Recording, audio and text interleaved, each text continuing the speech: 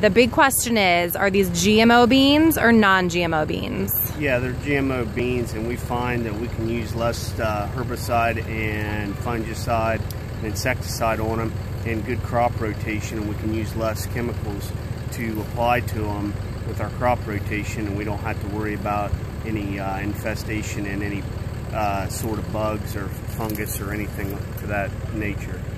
Great, and I'm looking out over this field, and you guys did apply.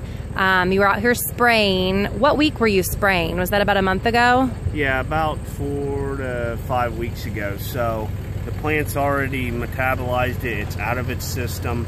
Uh, they, they will not be resprayed before fall. There may be a few weeds pop up, but we feel that we don't want to spray them and get resistant weeds and then also hurt the beans any, any worse than they are.